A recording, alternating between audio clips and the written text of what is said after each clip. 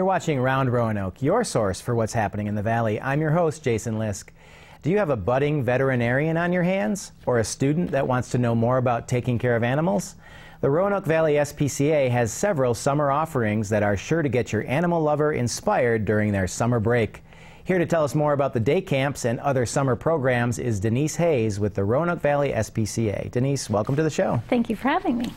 So quickly, just uh, tell us what the SPCA does and, and sure. So um, the Roanoke Valley SPCA is here in the community for almost 100 years now.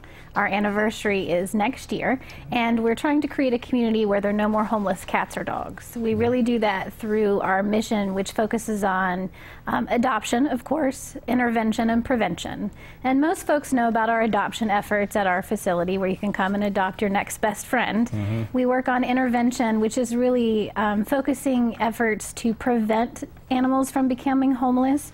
So that's done. We offer financial assistance to folks struggling to pay veterinary bills. We also have a pet food pantry for people who need assistance with pet food.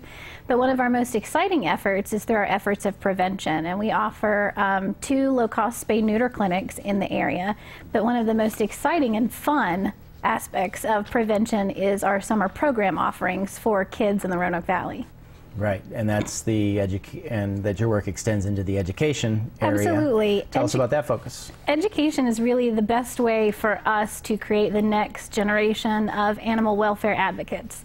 Those are the kids who are going to be able to truly make a difference. And so we are offering summer camps throughout the summer from the middle of June to middle of August. We have three different options based on the age range of the kids involved. So our Animal Adventures program is for rising first through rising third graders, and that program is a half day opportunity and really focuses on kids who are just beginning to express an interest in animals. There's hands-on activities to interact with pets. They'll learn about proper caring for pets. So maybe your kid has always been bugging you to get a puppy or a kitten. This is a way to really give them some insight into the aspects of really caring for a pet. Mm -hmm. okay. Then the next um, summer offering that we have is for rising fourth through rising sixth graders, and that's our pre-vet science camp. Mm -hmm. It's a little bit more involved. It's a full day of camp. It's held at the SPCA, but it's unique in that we offer field trips. So kids who participate in that program will be going to veterinary clinics to take tours, to horse farms to visit and learn about horses, but they also get to go to the um, Virginia Maryland Regional Veterinary Teaching School in Blacksburg. So they'll be going to Virginia Tech to learn and tour the school, how to become a veterinarian, Great. participating in all kinds of hands-on veterinary activities. Okay. Last but not least is um, our vet science camp, and that's really for rising um, 7th through rising 10th graders. Mm -hmm. It's a very hands-on, in-depth, science-based experience for kids, so they'll learn how to give injections, they'll learn how to do sutures. They also wow. will go to Virginia Tech, they'll go to the horse farm as well, um, but a lot more hands-on, science-based activities for those kids, learning how to use a microscope, what you can find in a microscope. Wow. Um, really interesting stuff. Yeah, sounds very interesting. Do you have anything for adults like that? Because that would be something that I would be interested in attending. It would be a lot of fun, but we haven't branched out to the adults yet. you also have, aside from these great summer programs, you have uh, a program throughout the year called uh, Kind News. We do.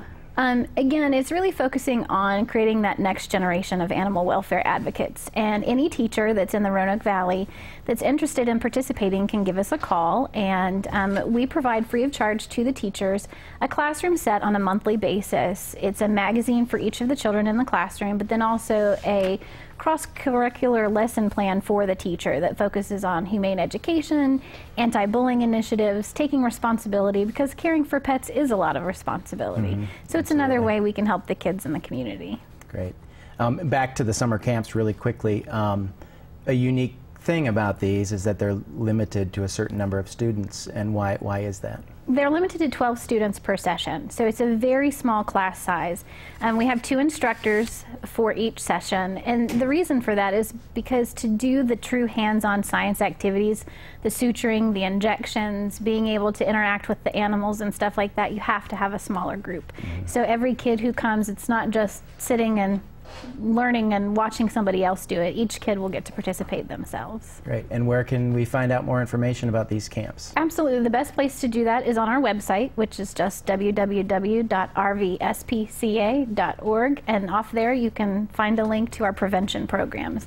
And summer camp is included in that. Wonderful. Well, Denise, thank you very much for coming in and talking about these camps and what you other activities you have throughout the year. Thank you so much. You can find out more about the SPCA's summer camps and programs and other happenings in the Roanoke Valley on the community calendar coming up at the break. I'm Jason Lisk, and you're watching Round Roanoke on Cox 9. Thanks for tuning in.